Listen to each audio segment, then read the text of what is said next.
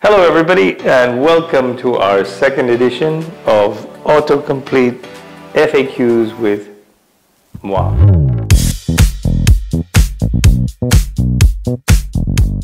Today's topic is under eye fillers. Now we get asked about this a lot. Can under eye filler cause swelling? Well, short answer, yes, it can. But the swelling is usually short-lived if we don't use too much filler. Of course, if too much is placed, then that swelling is going to remain for a longer time. Can under-eye fillers stretch the skin? I think in terms of stretching the skin, by definition, if we're putting volume, we stretch the skin a little bit, but it's never very significant. Normally people who have more and more fillers under their eyes as progressing age carries on, they're going to get extra skin anyway. So, short answer, not really. Next, can under eye filler cause blindness? Sadly, yes, it could cause blindness if the filler is inadvertently injected into an artery. Now, filling the nose is the number one cause of blindness, filling the glabella area, you know, these two worry lines or frown lines that people get. That's the number one cause.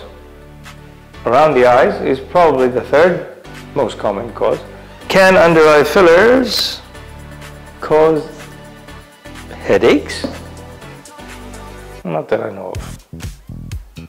Next, can under eye fillers be removed? Yes, any filler can be removed if it's hyaluronic acid. And we wouldn't think about using any other filler under the eye except your own natural fat, which incidentally cannot be removed very easily. So under eye fillers can be removed with an enzyme called hyalase, which we will inject under the eye and within seven or eight hours, it's all gone.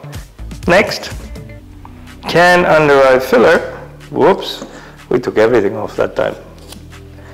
Right, let's look at this up here. Can under eye fillers cause wrinkles? That's a tricky question.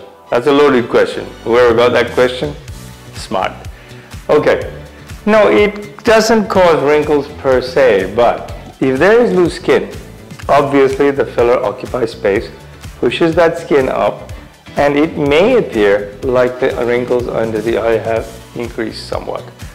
On the other hand, if we place fillers laterally, i.e. on the side of the eye, under, around the cheek eye junction actually can improve wrinkles. So yeah, that's a kind of complicated question. Next one. Can you lay down after under eye filler? Can you lay down after under eye fillers? Yeah, you can lie down. okay. Next one. Can you wear makeup after under eye filler? Look, Generally speaking, I think the problem is most people come with too much makeup.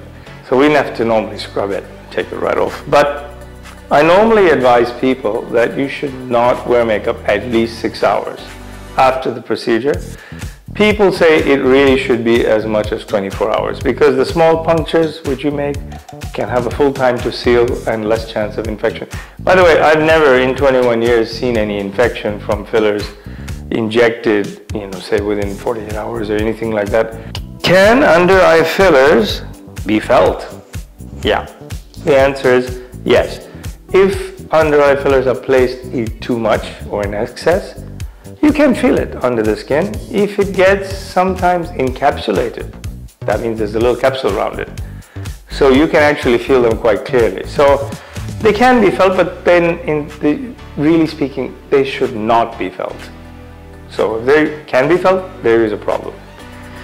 Right, so I hope you enjoyed that little question and answer of commonly asked questions with under eye fillers.